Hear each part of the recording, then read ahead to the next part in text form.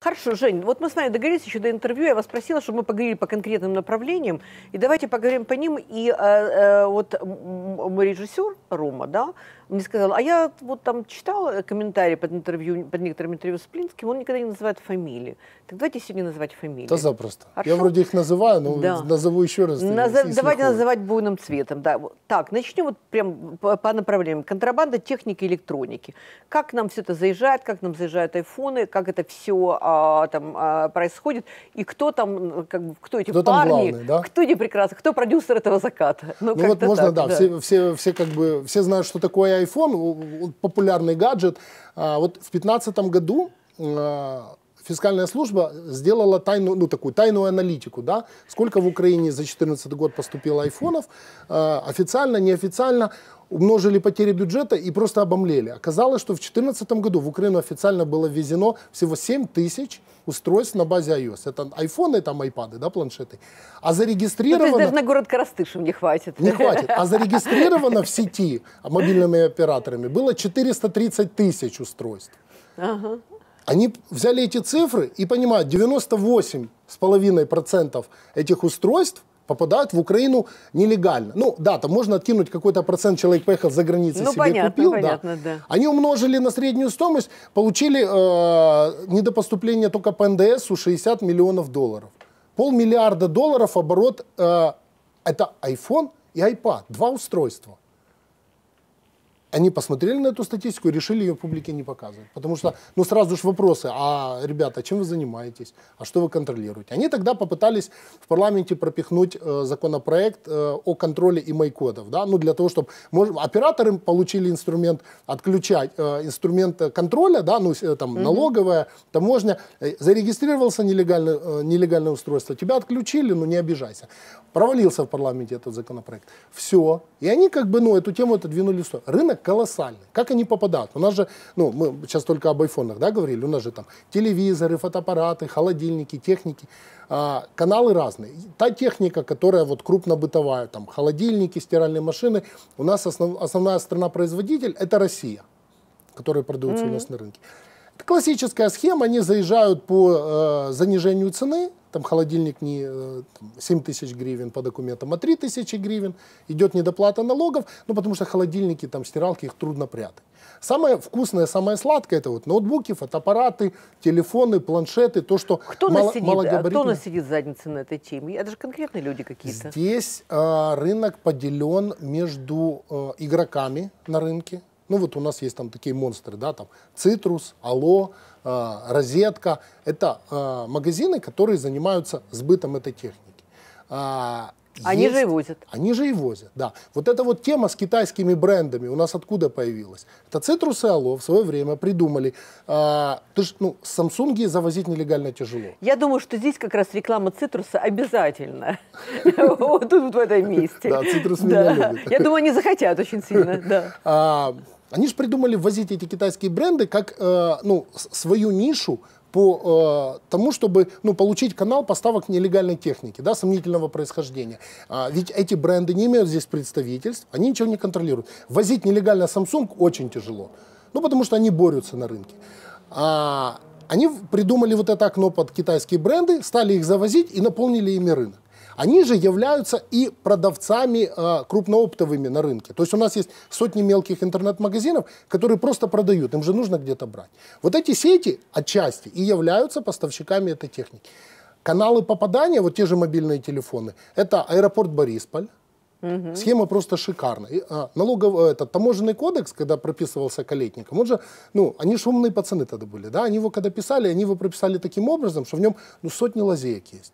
Вот прилетает из Китая э, живой случай, да, э, mm-hmm. 6 поддонов телефонов, да, 6 палет огромных, ну, я не знаю, сколько там, э, в единицах, там, ну, тысяч десять.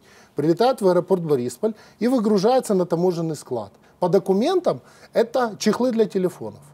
Просто чехлы. Но, но если ты подаешь эти документы таможне, у меня чехлы, я их оформляю, то тебя сразу же может таможня, СБУ, прокуратура хлопнуть, ну, любой силовик, да, потому что у тебя телефоны, а ты подал документы, что это чехлы. Поэтому эти ребята, они документы не подают.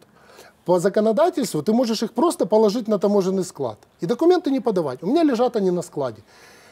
А, как только приходят силовики, например, да, и говорят, у тебя в документах чехлы, а тут телефоны. Ты говоришь, подождите, я документы не подал, тут ошибка. Отправитель не то отправил. Вот у меня письмо, у них уже заготовлено письмо от отправителя. Отправьте, пожалуйста, обратно. И эти телефоны улетают обратно. Живой пример. А растамаживают они ночью на какую-то смену таможни. Приезжает э, одна машинка, они подают документы на один поддон, фиктивные, что это чехлы, растамаживают их за 3 копейки, забирают и увозят. 5 поддонов стоит. Так за 5 недель эти 5 поддонов с телефонами уезжают. Еще какие? Ну, Борисполь так один. Почтовые операторы.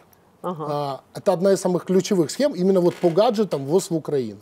То, что я рассказывал на программе там вот премиум пакет, э, суть почтовой схемы. Э, Премиум пакет это какая-то компания такая мутная, да? Да, да, да, да, мутная почтовый оператор. Этим грешит и премиум пакет, этим занимается и Мист Экспресс, этим занимаются, ну, э, у нас э, вот э, есть 8 почтовых операторов и 21, э, 21 компания экспресс доставки. Это вроде бы одно и то же для людей, да, но для, с юридической точки зрения это немножко разные структуры. И вот некоторые из этих компаний, там, по-моему, вот четверть всех э, компаний, они такие немножко мутные, 20-25%. В чем суть схемы? Ты, когда э, отправляешь почтовые посылки, ты, э, согласно нашему законодательству, первое, они не проходят контроль на таможне, они оформляются на так называемом ММПО. Это место международного почтового обмена. Это склад почтового оператора, где по договору с таможней сидит таможенник и оформляет твои грузы. То есть заезжает на таможню фура, а, в ней какие-то коробки, с чем непонятно. А, водитель дает документы. Это почтовая отправка. Вот у меня реестр 5000 получателей. А, товары там а, широкого потребления, каждая по 20 долларов. А, вот общая сумма, вот общий вес. Таможня ставит печать «Окей». А, и ты проезжаешь на свой склад. Заехав на свой склад, тебе там твой прикормленный таможенник ставит печать, что ты прошел таможенное оформление. И не проверяет, что ты везешь.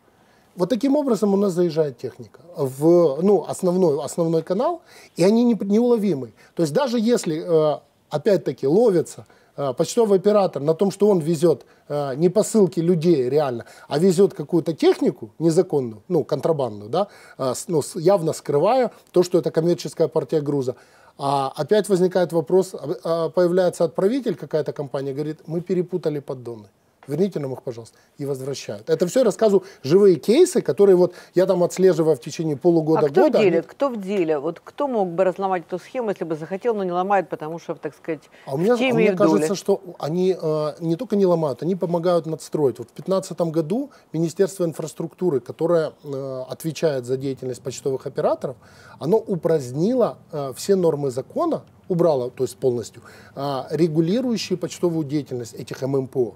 То есть сейчас инструмент контроля почтовых операторов отсутствует, отсутствует. вообще. А это еще был пиво, э, пивоварский а, или я, это был я уже Амелян? По-моему, по-моему, уже Амелян был. Там пивоварский, по-моему, был недолго. Угу.